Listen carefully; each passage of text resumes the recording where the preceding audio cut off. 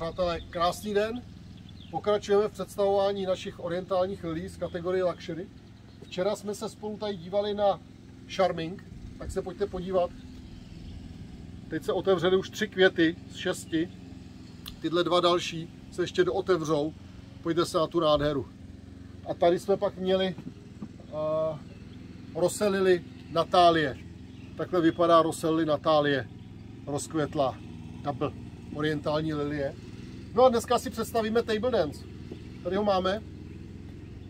Jsou obrovské květy, jsou tři květé ty lilie, jak vidíte, orientální, a mají obrovské květy. Když to porovnáme s tím, s tím šarminkem, tak jsou téměř dvojnásobné. A zase mají jiný tvar, když se na to podíváte, jsou takové úzké, dlouhé.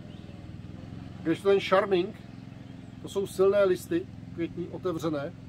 Jinak ten table dance nemá tak silnou a pronikavou vůni jako většina těch orientálních lilí a ne, nevyžene vás z domu. Jinak, když takhle ulomíte květ té lilie, tak i když je takhle ulomený, tak ho můžete dát do vázy a on vám takhle krásně uh, vykvete. Tak jo, přátelé, mějte se krásně, hezký pracovní týden.